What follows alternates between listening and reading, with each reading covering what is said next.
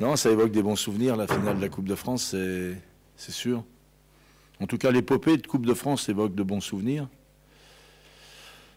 Et il se trouve que, ben, ce ne sont que des souvenirs, même si on les garde, même si on aurait, on aurait souhaité euh, emmagasiner de meilleurs souvenirs encore. Parce qu'il faut quand même se rappeler que nous avons perdu cette finale de Coupe de France, même si elle a été, elle a été décrite par vous les journalistes comme une des, plus jolies finales de ces dernières années. Elle devait ne pas être suivie par euh, de nombreux spectateurs et le Stade de France était plein. Et surtout, pour notre part, ce qui nous a, à cette occasion-là, euh, réconforté et surtout euh, fait chaud au cœur, c'est de voir qu'il y avait beaucoup de monde euh, vêtu de rose euh, dans les tribunes.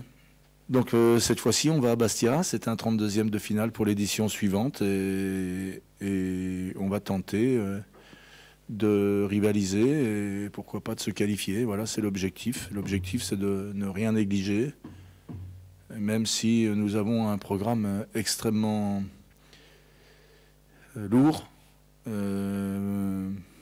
courant janvier, ou en tout cas pour tout le mois de janvier. Le coach nous, a, dit hier que pour lui, on n'allait rien lâcher, que ce match de coupe, il- lui s'en souvient très bien l'an dernier, il veut refaire pareil. Donc euh, pour lui, il va, va, lâcher aucun match. Et nous, on n'est pas comme ça, on est des compétiteurs, on va, on va pas aller sur le terrain et se dire, bon, on va, laisser le match. Non, pas question. Ah, il a joué trois fois en un mois, je crois. Non, on va les connaître par cœur à force. Non, je ne vais pas dire que c'est bien, ça aurait été mieux de, de, jouer à la maison, mais bon, voilà.